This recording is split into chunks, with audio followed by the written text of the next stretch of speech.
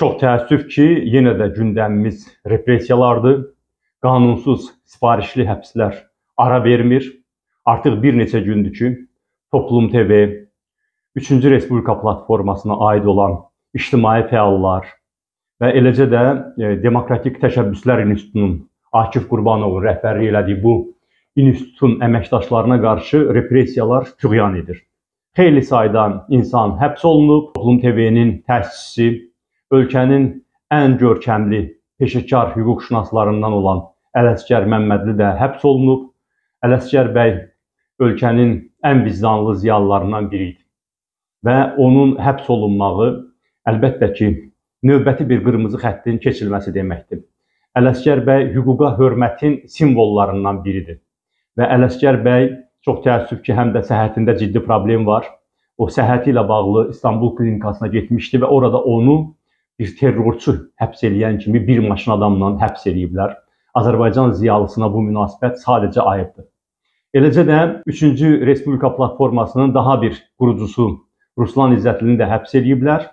Daha öncə həbs olunmuş 3-cü Respublika platformasının həm təsisçisi Akif Qurbanovun yaşlı valideynlərini bu, bu müvəqqəti saxlamadı, amma hər halda o yaşlı valideynlərin saxlanılıb bilinməyən istiqamətə aparılması da daha bir dəhşətli bir şeydir. Bütövlükdə çoxlu sayda jurnalistlər həbs olunub, vətəndaş cəmiyyəti fəalları həbs olunub, növbəti repressiya dalğası davam edir.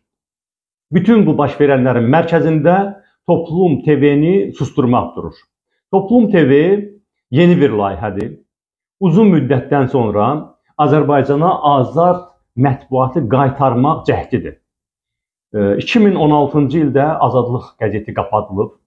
Daha öncə Azadlıq radiosunun, e, Meydan TV-nin, deməli, burada ofisləri qapanmış Azadlıq radiosunun, Meydan TV-nin saytı bloklanmışdı və beləliklə Azərbaycanda azad mətbuat faktiki yoxa çıxarılmışdı. Burada bir istisna var. Mən bu barədə danışanda suallar yaranmasın.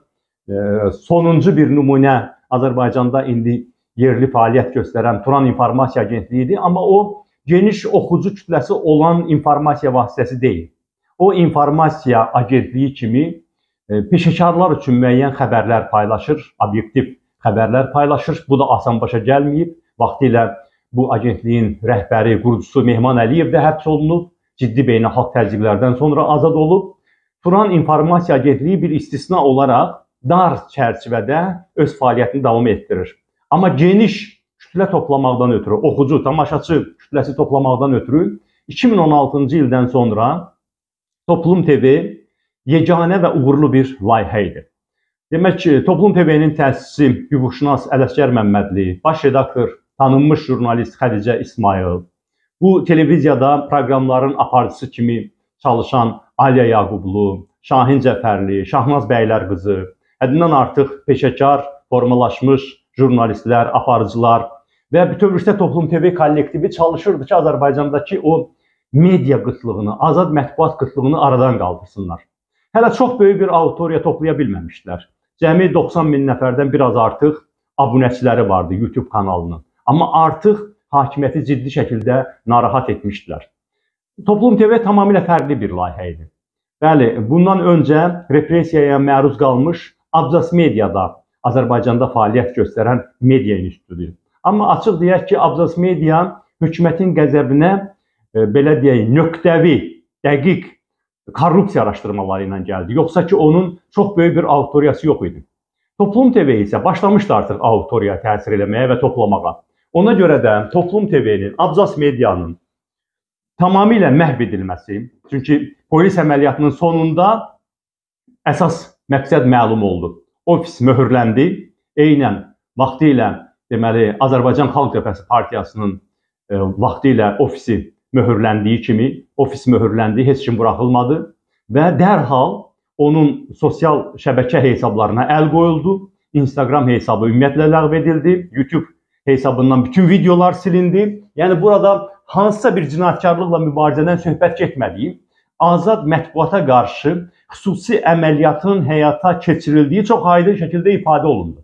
Yəni hökumət bu gün o qədər özünü ictimai rəy qarşısında, hətta dünya ictimai qarşısında, dünya ictimaiyyəti qarşısında o qədər saymaz yana aparır ki, heç daha maskalanmır da.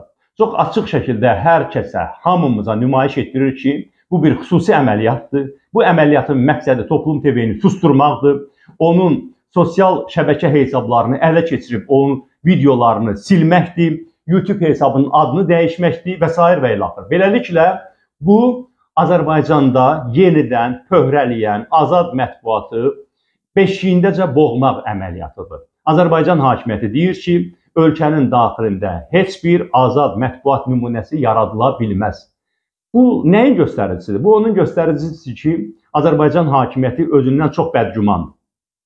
Bilirsiniz, mən dedim ki, Toplum TV bir müxalifət televiziyası deyildi. Tərəfsiz olmağa çalışırdı. Bir neçə aydan bir mən də dəvət olunurdum. Başqa müxalifətçilər də dəvət olunurdu deməli studiyaya. Eyni zamanda e, YAP nümayəndələri, e, deputatlar da dəvət olunurdular. Maksimum e, redaksiya heyəti çalışırdı ki, balanslı bir siyasət aparsın. Amma onların özündən asılı olmayaraq, yəni onlar bunu etmirdilər. Xalq özü o qədər müxalifətçidir ki, Toplum TV-nin hər addımdakı fəaliyyəti, hakimiyyəti ifşa eləyirdi. Məsələn, ən sonuncu Toplum TV-də keçirilmiş sorğuların birində əhalinin 94%-i dolana bilmədiyini ifadə eləmişdi. 30% sorğuya qatılanların 7 min adam qatılmışdı sorğuya. Toplum TV nə etsin? Jurnalistlər nə etsin? Təsisçi nə etsin? Baş redaktor nə etsin? Siz Azərbaycan vətəndaşları, YouTube izləyiciləri qatılıb bu sorğuya 7 min nəfər və onların 94%-i həyatından narazı olduğunu, dolana bilmədiyini açıq ifadə edib. 30% ümumiyyətlə maaş almadığını, yəni tam işsiz olduğunu, bir təhər yaşadığını, qalan 64% də maaşı ilə dolana bilmədiyini ifadə eləyib və nəticədə acınacaqlı bir vəziyyət çıxıb ortalığa. İlham Əliyev hər dəfə sevir danışmağı ki, 10 dəfə filan məsələ artıb, 5 dəfə filan məsələ artıb, yoxsulluğu belə ləğv eləmişik və birdən-birə 7000 adamın qatıldığı bir sorğu çıxır ortalığa və bu sorğu göstərir ki, ölkə əhalisinin 94%-i yaşayışından narazıdır. 94%-i yaşayışından narazı olan ölkədə 92%-lə prezident seçilməz.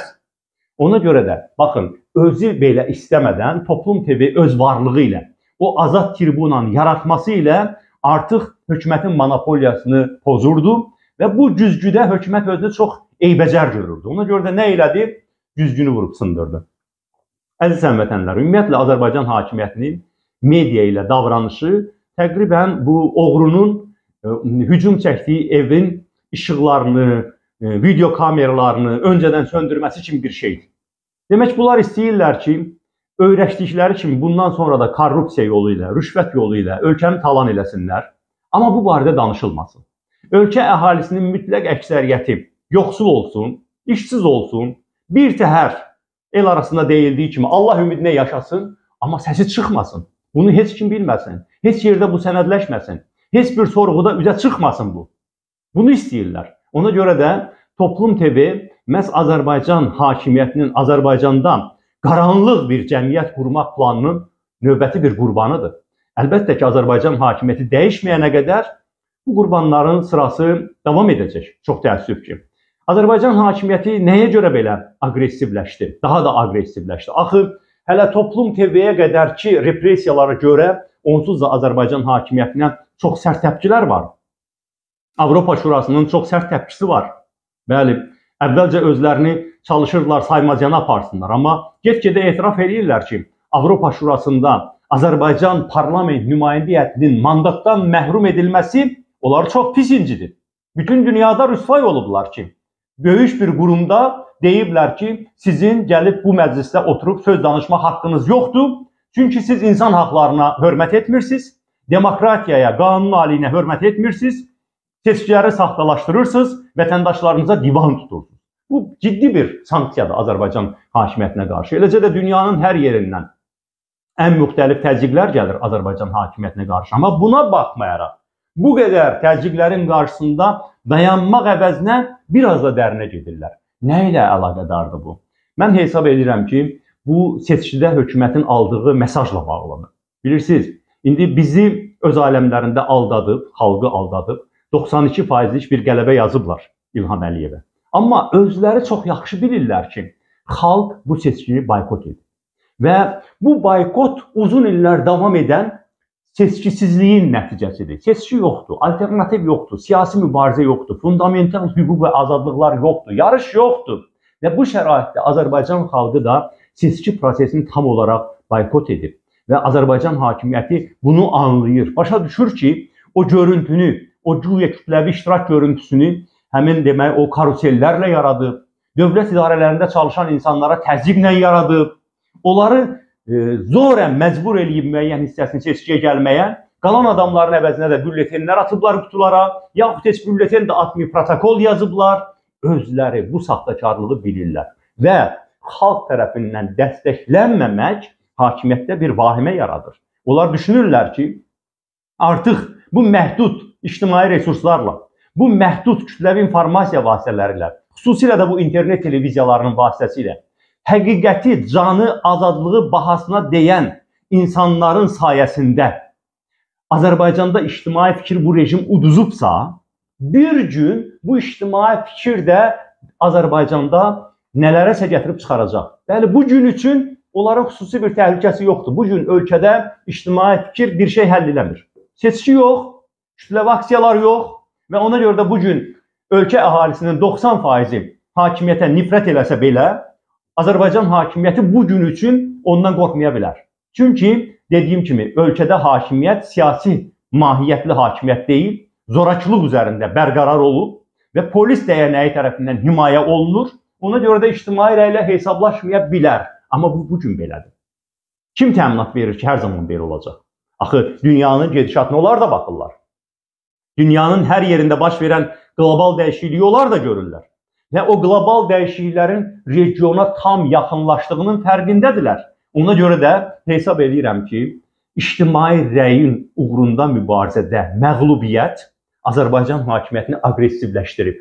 Eyni zamanda qlobal dəyişikliklərin Azərbaycanın sərhədlərinə yaxınlaşması Azərbaycan hakimiyyətində müəyyən bir panika yaradıb və ona görə də bilə-bilə ki, bu kütləvi həbslər həm Azərbaycan cəmiyyətini bir az da hökumətə, rejimə qarşı daha da neqativ kökləyəcək, həm dünya birliyinin daha sərt reaksiyaları gələcək.